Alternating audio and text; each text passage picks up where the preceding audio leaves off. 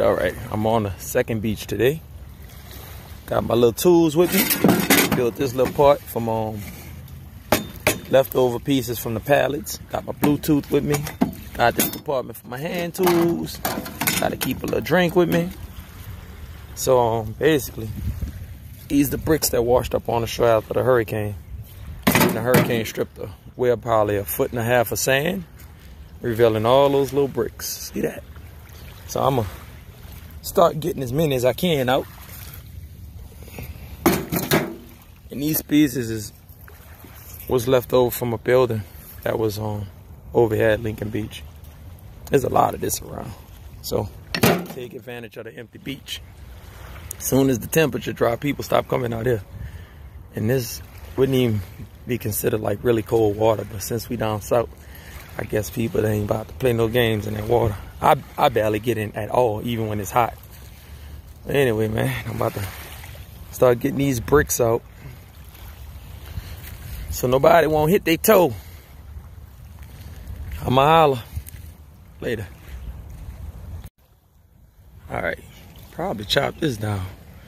Open up the beach a little more. All right, here we go. That's what I follow. A floor.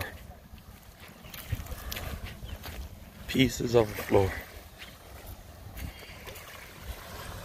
A lot of concrete. I could use these for my little fireplace. For some reason, concrete, when it heats up, it don't crack as fast as natural boulders. Those regular rocks, when they heat up those big, big boulders, they crack. Sometimes they explode too. Like. Almost like the sound like a 22 rifle. There we go. That didn't take too long. Cool.